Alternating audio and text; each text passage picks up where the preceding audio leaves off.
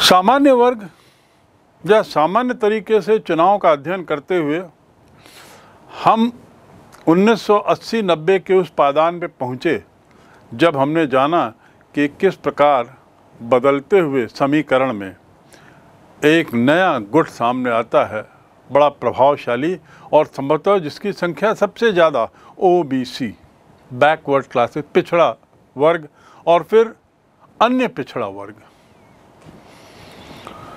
और उनके उदय को समझते हुए हमने ये भी देखा कि भारतीय राजनीति को किस प्रकार ये प्रभावित करते हैं। भारतीय समाज का एक और ऐसा पहलू है, एक और ऐसा अंग है, जो भारतीय राजनीति को संभवतः उतना ही प्रभावित करने की क्षमता रखता है जितना कि पिछड़ा वर्ग। और वह है सामाजिक रूप से कमज़ोर वर्गों का वर्ग, सामाजिक रूप से कमज़ोर वर्गों का। सोशली वीक सामाजिक दृष्टि से जो कमज़ोर हैं। तो अब इस अध्याय में, इस अध्याय के इस हिस्से में अब हम समझने की कोशिश करेंगे कि सामाजिक रूप से कमज़ोर वर्गों का राजनीतिक सशक्तिकरण कैसे हुआ। हमने पिछड़ा वर्ग के राजनीतिक सशक्तिकरण का अध्ययन कर लिया। अब हम जानने की कोशिश करेंगे कि पिछ, की पिछड़ा वर्ग के अलावा समाज का एक ऐसा कमज़ोर ऐसा वर्ग भी है जिसे हम कमज़ोर वर्ग कहते हैं और उसके राजनीतिक सशक्तिकरण की बात करेंगे, जानने की कोशिश करेंगे कि कैसे इस वर्ग को राजनीतिक ताकत मिली या कहाँ से मिली। इसकी शुरुआत भी 1980 के आसपास ही होती है। इसी दशक में निम्न वर्ग के राजनीतिक संगठनों का उदय होता है। हमने दलित पैंथर्स का ज़िक्र किया बामसेफ का ज़िक्र किया बसपा का ज़िक्र किया और कुछ अन्य दलों का भी ज़िक्र पूर्व में किया है। कुछ इन्हीं दलों के बारे में, इन्हीं के उद्भव के बारे में हम थोड़ा गहराई से समझेंगे। 1978 में BAMCEF backward minority communities employees federation इसका गठन होता है। और इसका गठन कौन करते हैं? कांसी राम। ये बामसेफ क्या था? एक लाइन में यदि बोलें तो ये सरकारी कर्मचारियों का था। और साधारण ट्रेड यूनियन नहीं था। ये संगठन बहुजन था। बहुजन से तात्पर्य है, अनुसूचित जाति इसमें थी के सदस्य थे, अनुसूचित जनजाति के सदस्य थे, अन्य पिछड़ा वर्ग के सदस्य थे और अल्पसंख्यक थे। अनुसूचित जाति, अनुसूचित जनजाति, अन्य पिछड़ा वर्ग और अल्पसंख्यक। चार लोग इसमें थे। चार लोगों का ये, एक कांग्लोमरेट एक झुंड था। समुदाय बनाया जिसे हम कह सकते हैं, जिसे कहा गया बहुजन। और यहीं से बहुजन समाज पार्टी का उदय होता है। ये लोग राजनीतिक सत्ता की ज़बरदस्त तरफदारी करते हैं। और इसी तरफदारी का, राजनीतिक सत्ता की तक पहुँचने की ललक इनके अंदर इतनी तीव्र थी कि बहुजन समाज पार्टी का उदय होता है। श्री कांशी राम की अगुवाई में। बहुजन समाज पार्टी अपने शुरू के दौर में एक बड़ी छोटी पार्टी रही और इसका जो क्षेत्र था, दायरा था, वो पंजाब, हरियाणा और उत्तर प्रदेश। और वह भी सामाजिक रूप से कमज़ोर तबके के लिए, सामाजिक रूप से कमज़ोर वर्ग के मतदाताओं के लिए। लेकिन उन्नीस सौ नवासी, नब्बे आते आते ये पार्टी काफ़ी फैल जाती है। ये पार्टी काफ़ी गहरा प्रभाव छोड़ने लगती है। नवासी और इक्यानवे के चुनाव में इस पार्टी को सफलता मिलती है। और आज़ाद भारत में ये पहली बार होता है जब कोई राजनीतिक दल मुख्यतया सामाजिक रूप से कमज़ोर वर्ग के बूते पर सफलता हासिल करता है। राजनीतिक सफलता हासिल करता है। किनके बल पर? कमज़ोर वर्ग के मतों के बल पर। और जब ऐसा होता है और यह बात लोगों तक फैलती है, तब निम्न वर्ग जागता है और महसूस करता है हम इतने सक्षम हैं कि हम सत्ता बना सकते हैं, सत्ता बिगाड़ सकते हैं। ये बहुत अहम, ये बहुत महत्वपूर्ण टर्निंग पॉइंट है। बहुत बड़ा मील का पत्थर है निम्न वर्ग या समाज के कमज़ोर वर्गों के उत्थान में। तो अब हम समाज के कमज़ोर वर्गों के उत्थान की चर्चा करते हैं तो हम सामान्यतया 19वीं शताब्दी में पहुँच जाते हैं जब ज्योतिबा फुले राजा राम मोहन रॉय और अन्य लोगों ने आ, समाज में सामाजिक चेतना जगाने के लिए बहुत सारे प्रयास किए थे। उसी के तहत हम देखते हैं कि धीरे धीरे धीरे ये निम्न वर्ग के लोग थोड़ा ज़्यादा शिक्षित होने लगते हैं, सजग होने लगते हैं, फिर भीमराव अंबेडकर जी का आना होता है और कुछ अन्य लोगों का आना होता है जो इस वर्ग की वकालत करते हैं, इस वर्ग की पैरवी करते हैं और उसी के तहत 1980 आते आते कांशी राम के द्वारा बामसेफ और फिर बहुजन समाज पार्टी। ये निम्न वर्ग के तबके का चरमोत्कर्ष था राजनीतिक व्यवस्था में। जब ये लोग सफलता पाते हैं अपने ही वर्ग के मतों के बल पर।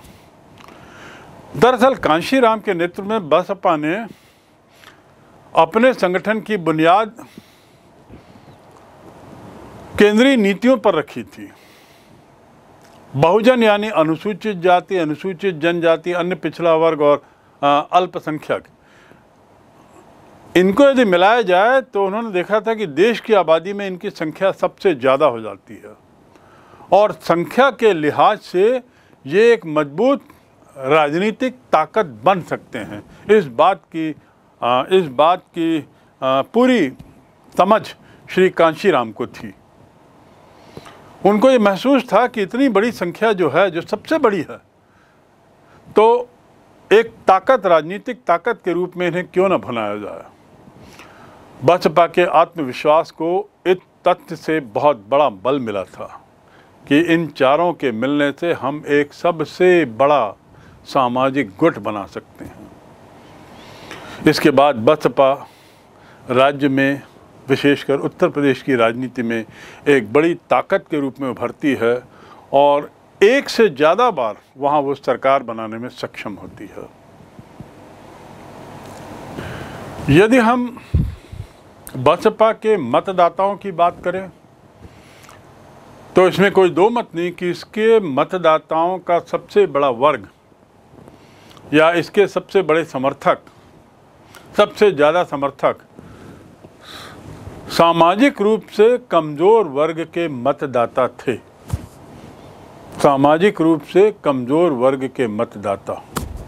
ये इनका सबसे बड़ा वर्ग था। लेकिन अब इसने समाज के विभिन्न वर्गों में समय के साथ साथ अपनी पैठ बना ली है। अब ये मात्र निम्न वर्ग तक ही सीमित नहीं रह गया है। अब ये अपना जनाधार बढ़ा रहा है। अब अन्य जातियों के अंदर भी इसने अपनी पहुँच बनाई है। भारत के कई हिस्सों में सामाजिक रूप से कमज़ोर वर्ग के राजनीतिक और अन्य पिछड़ा वर्ग की राजनीति ने स्वतंत्र रूप ले लिया है और इन दोनों के बीच अक्सर प्रतिस्पर्धा चलती रहती है। किन दोनों के बीच? सामाजिक रूप से कमज़ोर वर्ग बनाम अन्य पिछड़ा वर्ग। सामाजिक वर्ग, सामाजिक रूप से कमज़ोर वर्ग, इनकी संख्या सबसे ज़्यादा है। तो उसके बाद अन्य पिछड़ा वर्ग और फिर बाकी। तो इस प्रकार इन दोनों के बीच में एक तरीके से प्रतिद्वंदिता अन्य राज्यों में भी चल रही है। और जैसे जैसे इन आंकड़ों की सच्चाई लोगों तक पहुँच रही है ये दोनों समाज के वर्ग अपनी अपनी ताकत को समझ रहे हैं, उसकी अहमियत को समझ रहे हैं, राजनीतिक अहमियत को, और उसको भुनाने की कोशिश कर रहे हैं। ये हुई संक्षिप्त में पिछड़ा वर्ग, संक्षिप्त में सामाजिक रूप से कमज़ोर वर्ग की बात। अब इसके संस्थापक के बारे में थोड़ा सा जान लें, श्री कांशी राम के बारे में। उनकी पृष्ठभूमि क्या थी? जिन्होंने इस दलित वर्ग को राजनीतिक स्तर पर उस उस जगह पहुँचा दिया जहाँ वे स्वयं एक फोर्स बन के उभरे हैं, जहाँ उन्होंने स्वयं अपने दलितों के या शोषित वर्ग के, कमज़ोर वर्ग के लोगों के आधार पर ही सत्ता में काबिज होने की क्षमता पाई है, और एक बार नहीं बल्कि कई बार। कांशीराम 1934 से 2006 इनका जीवन काल बहुजन समाज पार्टी के सशक्तिकरण का प्रतिपादक और बहुजन समाज पार्टी के संस्थापक, दोनों के लिए श्रेय इनको जाता है। सशक्तिकरण के लिए भी और एक राजनीतिक दल के संस्थापक के रूप में भी श्री कांशी राम को लोग जानते हैं। सामाजिक और राजनीतिक कार्यकर्ता कार्य के लिए केंद्र सरकार की नौकरी से इस्तीफा दिया। इनकी राजनीति में आने की ऐसी कोई मंशा नहीं थी। पर पूना में, जहाँ पर वो अंतिम बार पदस्थ थे सरकारी नौकरी में, वहाँ के कुछ घटनाक्रम ने, उस कार्यालय के कुछ घटनाक्रम ने उनको विवश किया कि वो इस्तीफा दें और कमज़ोर वर्गों के उत्थान के लिए सामने आए। इस प्रकार वो सरकारी नौकरी से, क्लास वन ऑफिसर की नौकरी से इस्तीफा देते हैं बाम सेफ़ की स्थापना करते हैं, फिर डी एस फोर बनाते हैं और अंत में उन्नीस सौ चौरासी में बहुजन समाज पार्टी की स्थापना होती है। उन्नीस सौ चौरासी वही वर्ष जब इंदिरा गांधी की हत्या हुई थी, एक आप याद रखने के लिए ध्यान में रख सकते हैं। बड़े कुशल रणनीतिकार माने जाते थे अपने समय में। और इस बात की अहमियत को लोगों तक सबसे पहले पहुँचाने का श्रेय इन्हीं को जाता है, जिसमें उन्होंने कहा था कि यदि ये तीन चार वर्ग, अनुसूचित जाति, जनजाति, अन्य पिछड़ा वर्ग और अल्पसंख्यक यदि साथ आते हैं तो बहुत ताकतवर बनेंगे। इस बात की अहमियत लोगों तक पहुँचाने का मादा इन्हीं में था और इन्होंने ही सफल रूप से इसका प्रयास भी किया और इसमें सफल भी हुए। इसलिए वे एक बहुत कुशल, कुशाग्र रणनीतिकार के रूप में जाने गए। अपनी राजनीतिक सत्ता को सामाजिक समानता का आधार मानते थे। उनका कहना था कि सत्ता में आना इसलिए ज़रूरी है जिस ताकि हमें भी समाज में उसी स्तर पर देखा जाए जिस स्तर पर अन्य लोग हैं।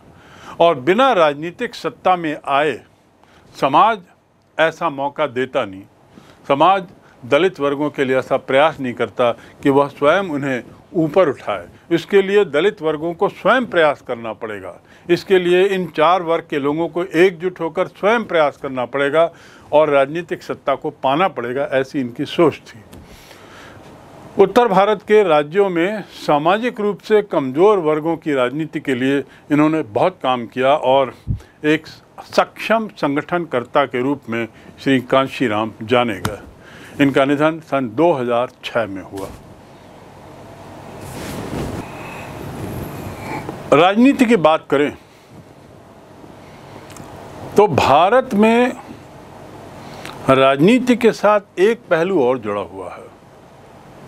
वर्ग आधारित राजनीति, जाति आधारित राजनीति, गठबंधन की राजनीति, मुद्दों की राजनीति, व्यक्ति आधारित राजनीति, ये सभी दौर भारत में देखे जा चुके हैं। भारत की राजनीति में गत सत्तर वर्षों में। लेकिन इसके साथ साथ एक अन्य तरह की राजनीति, कमोबेश कई बार हमारे इस समाज में दिखाई देती है और उसे हम कहते हैं सांप्रदायिकता की राजनीति। सांप्रदायिकता, कम्युनलिज्म। सांप्रदायिकता की राजनीति का उबाल पंथ निरपेक्षता और लोकतंत्र को नई चुनौती। सांप्रदायिक राजनीति, बनाम लोकतंत्र। ये संक्षिप्त में इस इस विषय का मुद्दा है। सांप्रदायिक राजनीति से क्या तात्पर्य है? सांप्रदायिकता का अर्थ क्या है? धर्म के आधार पर यदि कुछ किया जाए तो हम उसे सांप्रदायिकता का प्रभाव कहते हैं, धर्म आधारित।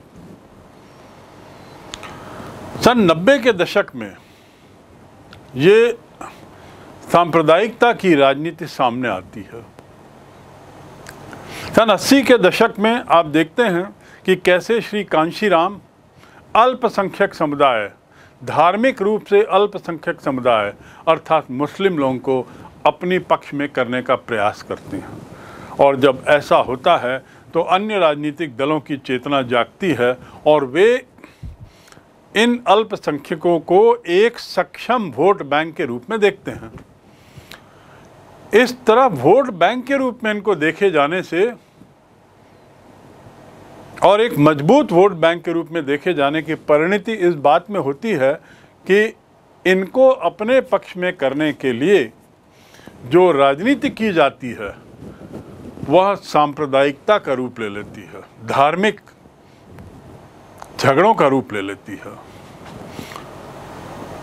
ये प्रवृत्ति जो है 1990 के बाद इसीलिए शुरू होती है, विशेषकर। सांप्रदायिक की, सांप्रदायिकता की राजनीति का उछाल इसी काल में होता है, क्योंकि इसी काल में अल्पसंख्यक बहुत एकजुट होकर सामने आते हैं। और इस उबाल का परिणाम यह है कि लोकतंत्र और पंथ निरपेक्षता जो भारत की नीति है धर्म निरपेक्षता उसको एक बहुत बड़ी चुनौती मिलती है। सरकार किसका पक्ष ले? यदि सरकार निष्पक्ष होकर किसी एक धर्म समुदाय के लिए कार्य करेगी तो दूसरा पक्ष उसे सांप्रदायिक रूप देने का कोशिश करेगा। चाहे भले ही सरकार की अपनी सोच है कि वह जो कार्य कर रही है, वह निष्पक्ष होकर कर रही है।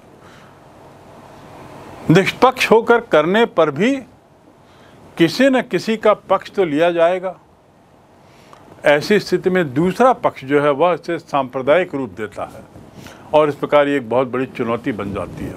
वैसे तो हम देखें तो भारत में आज़ादी से पहले भी सांप्रदायिकता का विष जो है काफ़ी फैल चुका था।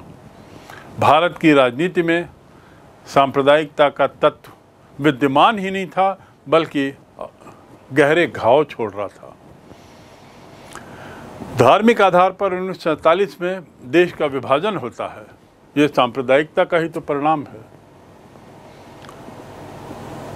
इस विभाजन से सांप्रदायिक भावनाएँ जो हैं, वो और मज़बूत हो गई।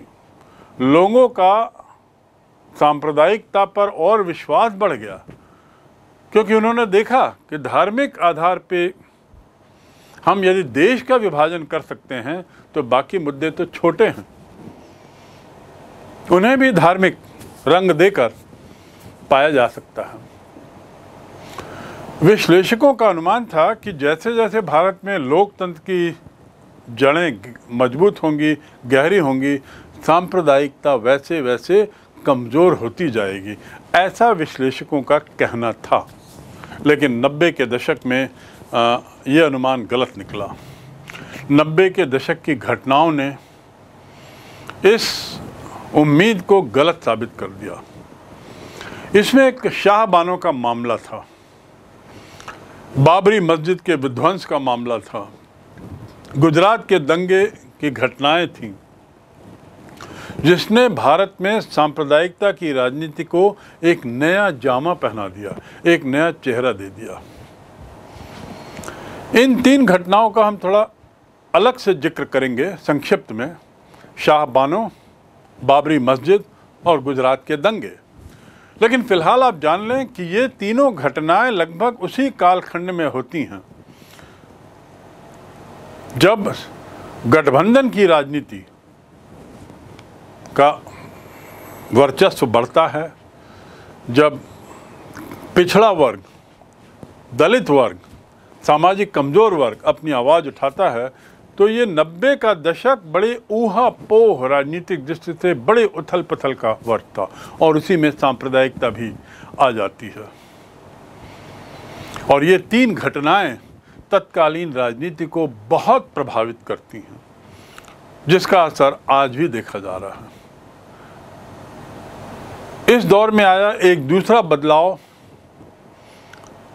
धार्मिक पहचान पर आधारित राजनीति। सांप्रदायिकता तो है ही। सांप्रदायिकता का उदय तो इस काल में देखा ही गया, लेकिन अब उसमें कुछ और कड़वाहट इस आधार पर जुड़ गई कि इस काल में हम देखते हैं कि धार्मिक पहचान के आधार पर जो राजनीति शुरू हुई, वो इसी काल में हुई। और इसके दूरगामी परिणाम होते हैं। जनता पार्टी जो 1980 में बिखरती है, उसके बाद जनसंघ सामने आता है तो जनसंघ भारतीय जनता पार्टी के रूप में सामने आती है। भारतीय जनता पार्टी ने हिंदू राष्ट्रवाद हिंदुत्व के तत्वों पर थोड़ा ज़्यादा ज़ोर देना शुरू किया। हिंदू राष्ट्रवाद और हिंदुत्व के तत्व। तो भारतीय जनता पार्टी के उदय के साथ हम देखते हैं। इस तरह का एक बदलाव। और उस बदलाव में वह हिंदुत्व और हिंदू राष्ट्रवाद पर ज़्यादा ज़ोर देता है। भारतीय जनता पार्टी का जो विचार है उसमें, उसके अनुसार भारत का नागरिक वही हो सकता है जो भारत भूमि, भारतीय संस्कृति, भारतीय परंपराओं के प्रति श्रद्धा रखता हो। भारतीय परंपराएँ, भारत भूमि, भारतीय संस्कृति पर श्रद्धा रखने वाला ही भारतीय नागरिक हो सकता है। ये भारतीय जनता पार्टी की सोच है। और ये वही काल है जब भारतीय जनता पार्टी भी धीरे धीरे अपनी पैठ बढ़ाती है, अपनी पहुँच, अपना जनाधार बढ़ाती है और उसके सीटों की संख्या में धीरे धीरे विकास होता है। सन पचासी के समय तलाकशुदा शाह बानो उसके मामले में सर्वोच्च अदालत ने शाह बानो को भूतपूर्व पति से गुजारा भत्ता हासिल करने का अधिकार दिया। ये एक बड़ा प्रसिद्ध केस है शाह बानो का केस। गुजारा भत्ता करने के लिए शाह बानो को शाह बानो के पक्ष में न्यायालय निर्णय देता है और कहता है कि इसके पूर्व पति द्वारा इसे गुजारा भत्ता दिया जाना आवश्यक है, न्यायोचित है। लेकिन पुरातन पंथी मुसलमान, मुस्लिम समुदाय जो पुरानी परंपराओं पे चल रहा था, वो उसका विरोध करते हैं। इस फैसले का विरोध करते हैं। न्यायालय के इस फैसले का विरोध करते हैं। और विरोध करने का आधार उनका रहता है मुस्लिम पर्सनल लॉ। उनका जो अपने समाज का जो अपना कानून है, उसके आधार पे शाह बानों को भत्ता दिए जाने का पूर्व पति द्वारा भत्ता दिए जाने का तीव्र विरोध इस मुस्लिम समुदायों द्वारा होता है, जो थोड़े कट्टरपंथी थोड़े पुराने विचारों वाले हैं। एक और जहाँ मुसलमानों द्वारा सर्वोच्च न्यायालय के इस निर्णय का विरोध हो रहा था और इसे उनके धार्मिक मामलों में दखल के रूप में बताने का प्रयास किया जा रहा था, वहीं तत्कालीन कांग्रेस सरकार, उसने मुस्लिम महिला अधिनियम नाम से एक नियम पास किया। मुस्लिम महिला अधिनियम 1986 जिसका संबंध तलाक से जुड़े अधिकारों के तहत था। इस अधिनियम के द्वारा सर्वोच्च न्यायालय के फैसले को तत्कालीन केंद्र सरकार, जो कांग्रेस की थी, उसने कोर्ट के फैसले को निरस्त कर दिया, रद्द कर दिया। अर्थात, सुप्रीम कोर्ट द्वारा भत्ता दिए जाने के आदेश को खारिज कर दिया और गैर कानूनी बता दिया। सरकार के इस फैसले का, सरकार के इस कदम का, सरकार के इस बिल का, भाजपा सहित बहुत सारे संगठनों ने विरोध किया और उन्हें ऐसा लगा कि सरकार मुस्लिमों का पक्ष ले रही है। कांग्रेस सरकार जो है, वह अल्पसंख्यक का पक्ष ले रही है। इसी दौर में जब इस तलाक के मुद्दे को लेकर शाह बानो केस को लेकर पूरे देश में दोनों समुदायों के बीच एक तरीके से तनाव बढ़ रहा था। उसी दौरान एक और घटना होती है और वह घटना है बाबरी मस्जिद का विध्वंस। इस दौर में अयोध्या का जो विवादित एक ढांचा था जिसे बाबरी मस्जिद के नाम से जाना जाता है। उन्नीस में उसे कार सेवकों द्वारा तोड़ दिया जाता है। कार सेवक किन्हें कहते हैं? ऐसे लोग जो धर्म के नाम पर स्वयमेव कुछ सेवा करने के लिए सामने आते हैं। धर्म के नाम पर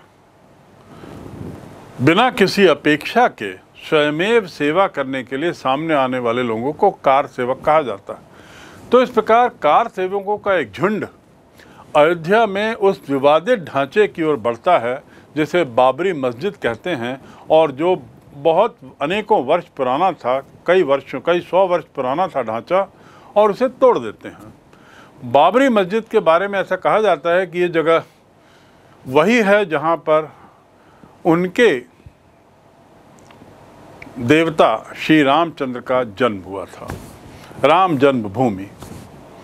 लेकिन मुगल शासक बाबर के कोई सिपह सालार थे मीर बाकी, जिसने इस जगह मस्जिद बना दी और इस प्रकार एक विवाद खड़ा हो गया।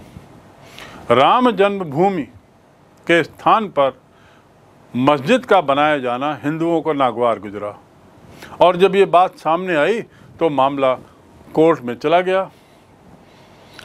कोर्ट में मामला एक तरफ़ लंबित और दूसरी ओर यहाँ बाबरी मस्जिद को कार सेवकों ने ढहा दिया उन्नीस सौ बानवे में। और इस प्रकार उनके द्वारा किसी धर्म विशेष, किसी समुदाय विशेष के द्वारा ढांचे को ढहाने का एक दुष्परिणाम ये हुआ कि दूसरे धर्म समुदाय के द्वारा इसे अन्यथा लिया गया। और इस प्रकार दोनों समुदायों के बीच में जो धार्मिक आधार पर जो तनाव शाह बानो केस और उसके आसपास वो बढ़ता चला गया। और कई बार तो इसने सांप्रदायिकता का रूप भी लिया। बाबरी मस्जिद जब ढाही गई, बाबरी मस्जिद को जब तोड़ा गया तो पूरे देश में कई जगह धर्म आधारित दंगे हुए, जिसे हम सांप्रदायिक दंगे कहते हैं। और इसके चलते भाजपा सरकार को इस्तीफा देना पड़ा। कई जगह भाजपा, भारतीय जनता पार्टी की सरकारों को बर्खास्त किया, केंद्र सरकार ने और राष्ट्रपति शासन लागू किया। ये कहते हुए कि इन राज्यों में सांप्रदायिक दंगे कुछ ज़्यादा हुए हैं और इसका दोष राज्य सरकारों पर मरते हुए केंद्र सरकार ने, जो कांग्रेस की थी, उसने राज्य सरकारों को बर्खास्त करके राष्ट्रपति शासन लागू कर लिया। और इस प्रकार इन राज्यों की शासन व्यवस्था को एक तरीके से अपने हाथ में ले लिया। इस घटना के बाद सांप्रदायिक सौहार्द के लोकतांत्रिक माहौल में कई दफ़ा बड़ी चुनौतियाँ आई। एक और लोकतंत्र की जड़ों को मज़बूत करने का प्रयास और दूसरी ओर सांप्रदायिकता की आग जब तक भड़क उठती थी। तनाव बढ़ते बढ़ रहे थे और लोकतंत्र में जहाँ सब धर्म सर्वधर्म समभाव की भावना रहती है। लोकतंत्र जहाँ पर सब लोग समान दृष्टि से देखे जाते हैं, धर्मनिरपेक्षता या पंथ निरपेक्षता जहाँ पे शासन किसी के भी धार्मिक मामलों में दखल ना देने की गारंटी देता है, वहाँ पर इस तरीके की घटनाएँ होना एक बहुत चिंता का विषय बन गया और हमारे लोकतंत्र के लिए भी खतरा हो गया। अयोध्या में जो विवादित ढांचा था, जिसे बाबरी मस्जिद कहते हैं उसके विध्वंस की टाइमलाइन को भी थोड़ा हम समझने की कोशिश करें कि किसके बाद घटनाक्रम कैसे आगे बढ़ता गया। सबसे पहले तो जो संगठन था, जो इस विध्वंस के लिए एक तरीके से जिम्मेदार माना जाता है, उसने राम मंदिर के निर्माण का समर्थन करते हुए दिसंबर बानवे में एक कार सेवा का आयोजन किया। और कार सेवा अर्थात एक ऐसी वॉल्टरी सेवा, जैसा मैंने बताया कि जिसमें स्वयमेव अपनी शारीरिक क्षमता से आर्थिक क्षमता के अनुसार किसी कार्य में मदद करना। तो दिसंबर बानवे कार सेवा का आयोजन किनके द्वारा संगठन, वो वाला संगठन जो राम मंदिर के निर्माण का समर्थन कर रहा था। राम भक्तों के से ये आह्वान किया गया कि वे राम मंदिर के निर्माण में श्रम दान करें। तो यहाँ पर कार सेवकों से मूलतः श्रम दान की अपेक्षा थी। और इन संगठनों ने श्रम दान का अनुरोध किया, जिसके तहत उद्देश्य ये था कि अपनी शारीरिक मेहनत से जो ढांचे को बनाने में जो लेबर लगेगा, शारीरिक जो लेबर लगेगा, उसमें योगदान करें। सुप्रीम कोर्ट का ऐसी स्थिति में राज्य सरकार को एक आदेश आता है कि जो विवादित ढांचा है, उसकी सुरक्षा का पूरा इंतज़ाम करें। कहीं ऐसा ना हो कि ये ढांचे को किसी तरह का नुकसान पहुँचाया जाए। संभवतः सुप्रीम कोर्ट को ऐसा अंदेशा था या ऐसी संभावना से बचने के लिए, ऐसी संभावना को हटाने के लिए कि कहीं ये ढांचा न ढह जाए, ढहा दिया जाए, उसने राज्य सरकार को आदेश दिया कि इस ढांचे की सुरक्षा के समुचित इंतज़ाम करें। 6 दिसंबर आता है 6 दिसंबर उन्नीस सौ बानवे, और देश के विभिन्न भागों से लाखों की संख्या में लोग आ जाते हैं अयोध्या में और ऐसा कुछ होता है घटनाक्रम कि उस भीड़ में अचानक एक झोंका आता है और उसके प्रभाव से, उसके वज़न से ये मस्जिद जो है वो गिर जाती है। मस्जिद को गिरा दिया जाता है। जैसे मस्जिद के विध्वंस की, मस्जिद के गिरने की खबर फैलती है पूरे देश में एक तरह का तनाव हो जाता है। धाम सांप्रदायिक तनाव की स्थिति निर्मित हो जाती है और देश के कई भागों में दो मतों के धर्मावलंबियों के बीच में झड़प होती है। बहुत चुनौतियों का सामना करना पड़ा। ये दशक जो है 1990 से 2000 ये दशक बड़े तनाव के दशक थे। इसी काल में इसी दौर में 2002 में एक और घटना होती है और वह है गुजरात में। धार्मिक आधार पर बटे हुए दो समुदायों के बीच में कुछ इस तरह के हिंसक टकराव होना जो विश्व में हमारी एक तरीके से हमारे लिए बड़ा आ, बड़ी अजीब स्थिति पैदा कर देता है। लोकतंत्र के ऊपर ये बहुत बड़ा खतरा था। और वो घटना क्या थी? गुजरात का गोधरा स्टेशन, रेलवे स्टेशन। यहाँ पर अयोध्या की ओर से आ रही एक ट्रेन, उसकी बोगी में, जिसमें कार सेवक बैठे हुए थे, उसमें आग लग गई। इस आग लग गई की बात को लेकर बहुत संशय है, बहुत विवाद है। सच्चाई ये कि इस घटना में संतावन लोग, जो उस बोगी के अंदर थे, उनमें से संतावन लोग जल के मर गए। क्योंकि अयोध्या से आ रही थी, कार सेवकों की थी, इनकी संख्या किसी एक विशेष धर्म समुदाय की थी, बहुलता थी। सभी लोग एक ही धर्म के थे। और चूँकि ये लोग अयोध्या से आ रहे थे, कार सेवक थे, ऐसा ऐसा अंदेशा था कि संभवतः दूसरे समुदाय के लोगों ने आग लगाई है। और इस प्रकार एक धार्मिक रंग इसको दिया गया।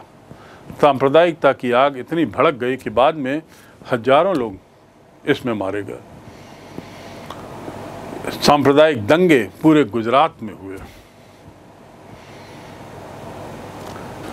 जिस बदलाव की हम चर्चा कर रहे हैं इस काल में, किस तरह के बदलाव आए? हम इन बदलावों को एक तरह एक तरह से हम चार भागों में बांट सकते हैं। पहला बदलाव उत्तर प्रदेश में भाजपा सरकार को केंद्र ने बर्खास्त किया। दूसरा, उत्तर प्रदेश के मुख्यमंत्री के खिलाफ न्यायालय की अवमानना का मुकदमा दायर हुआ। तीसरा, बदलाव जो राम जन्मभूमि के परिप्रेक्ष्य में हुआ या बाबरी मस्जिद के घटनाक्रम के बाद हुआ, वह था केंद्र द्वारा जाँच आयोग की नियुक्त किया जाना। और चौथा है भाजपा ने आधिकारिक तौर पर घटना के लिए अफसोस जताया। ये चार बदलाव अपने अपने तई भारत की राजनीति को प्रभावित करते हैं। सरकार के बदलने से, सरकार के बर्खास्त होने से नई सरकार आती है, बल्कि नई सरकार आने से पूर्व राष्ट्रपति शासन लागू होता है और इस प्रकार केंद्र हावी हो जाता है। और वहीं दूसरी ओर, दूसरे राज्यों में भी भाजपा की सरकार को बर्खास्त कर दिया जाता है केंद्र के द्वारा एक एक करके। और इसकी शुरुआत भाजपा से होती है। इसलिए ये पहला बदलाव बोला जाएगा। न्यायालय की अवमानना, वह तो न्यायालय से संबंधित था।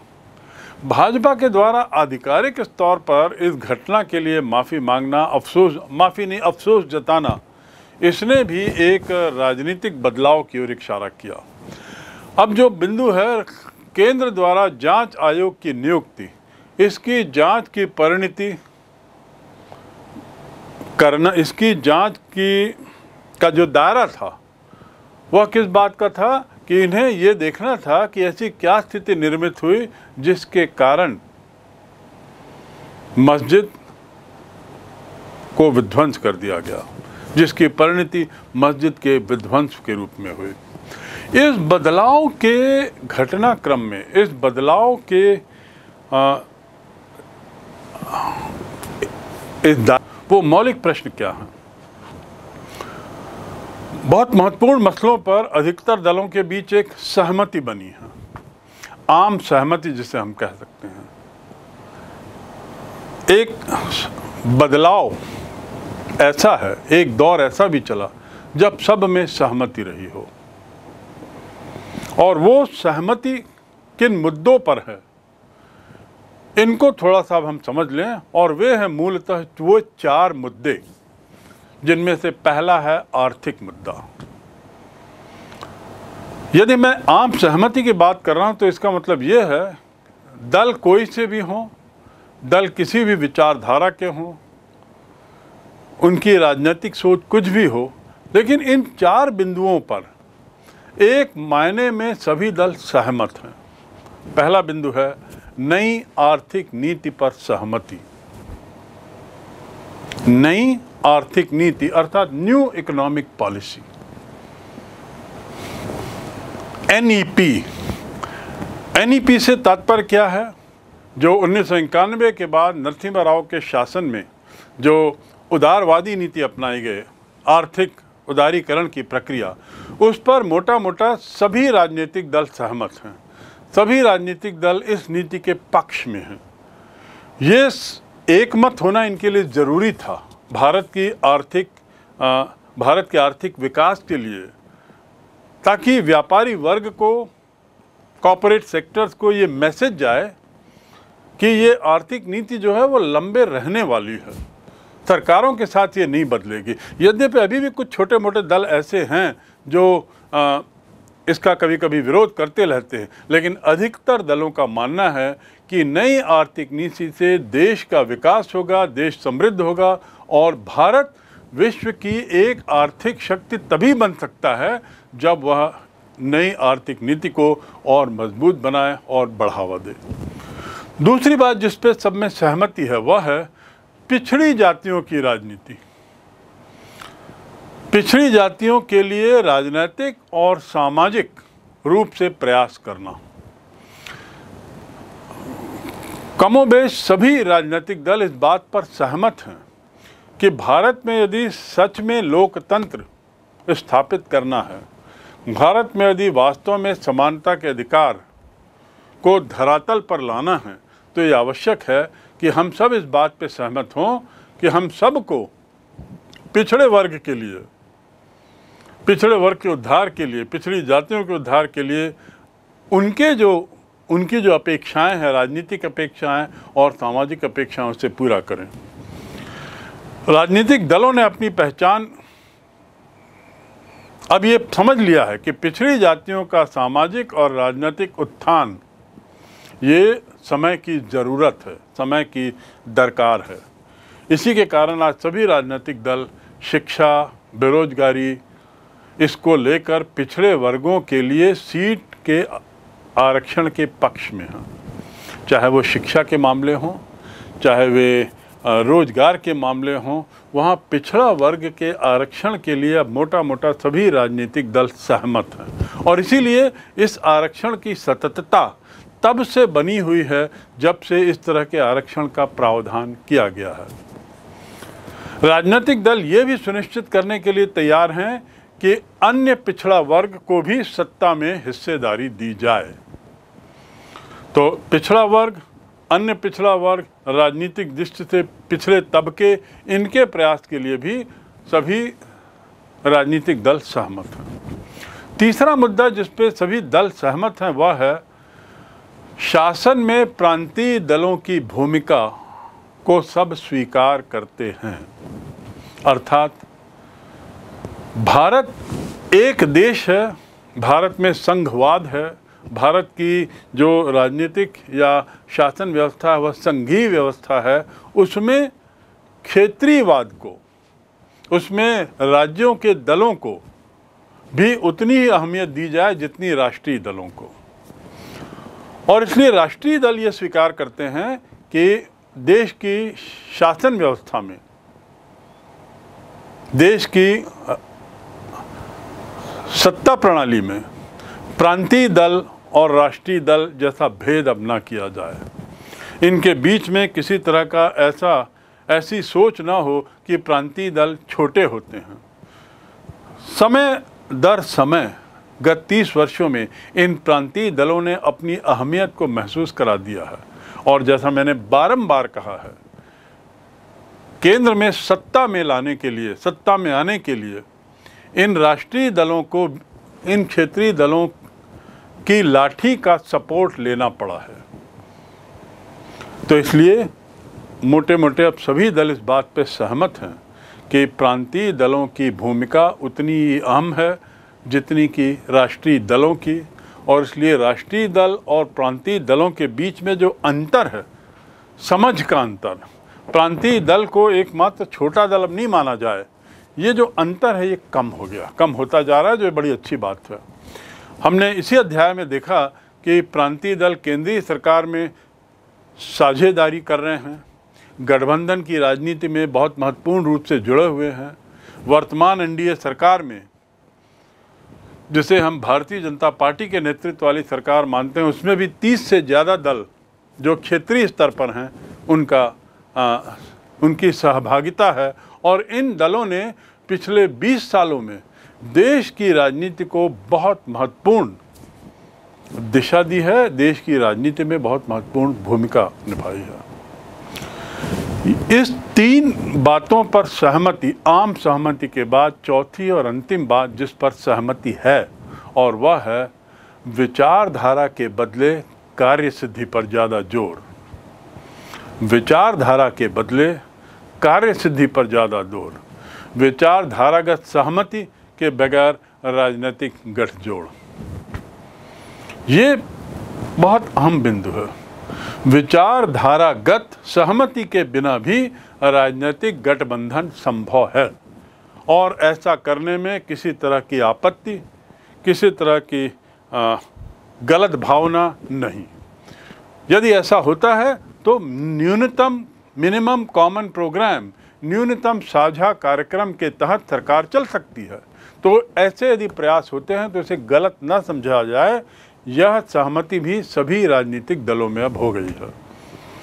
गठबंधन की राजनीति के दौर में राजनीतिक दल विचारधारागत अंतर की जगह सत्ता में हिस्सेदारी की बात उस पर ज़्यादा ज़ोर दे रहे हैं। विचारों की विभिन्नता से अब उनकी कोई दरकार नहीं। ज़्यादा महत्वपूर्ण है सत्ता में शामिल होना। जो मिसाल के लिए अधिकतर दल भाजपा की हिंदुत्व की विचारधारा से सहमत नहीं है, लेकिन वे दल भाजपा के साथ गठबंधन में शामिल हैं।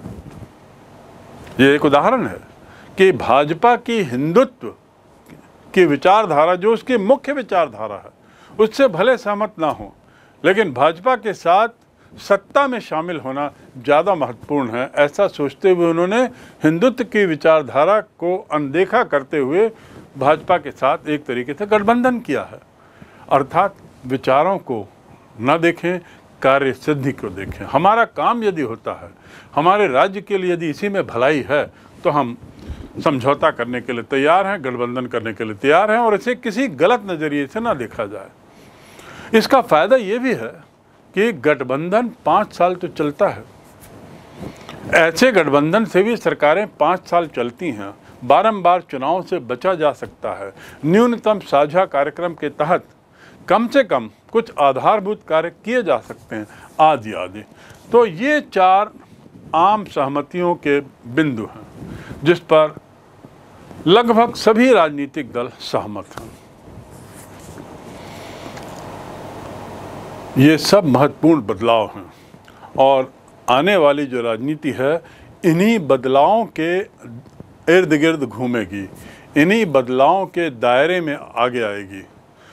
मुख्य राजनीतिक दल जो हैं वो कुछ एक मसलों पर सहमत हैं। गरीबी विस्थापन न्यूनतम मजदूरी आजीविका और आ, सामाजिक सुरक्षा के मामलों में जन आंदोलनों के ज़रिए ये राजनीतिक एजेंट के रूप में सामने आ रहे हैं। ये आंदोलन राज्य को उसकी जिम्मेदारियों के प्रति सचेत कर रहे हैं। यह भी एक आम सहमति का मुद्दा है। आम सहमति की बात है कि जन आंदोलन जो है, वो एक तरीके से एजेंट हैं। सरकार को दिशा देते हैं। सरकार को जिम्मेदारियों का एहसास कराते हैं। इसी तरह लोग जाति लिंग, वर्ग और क्षेत्र के संदर्भ में न्याय तथा लोकतंत्र के मुद्दे उठा रहे हैं। इसलिए हम कह सकते हैं कि भारत में लोकतांत्रिक राजनीति जारी रहेगी। हम कह सकते हैं कि लोकतांत्रिक राजनीति और मज़बूत हुई है। नए सामाजिक वर्ग सामने आए हैं, नए क्षेत्रीय दल सामने आए हैं और इनकी बढ़ती भूमिका नए राजनीतिक दलों नई क्षेत्रीय पार्टियों, जन आंदोलनों की बढ़ती भूमिका को चिंता के रूप में इन दलों को नहीं देखना चाहिए।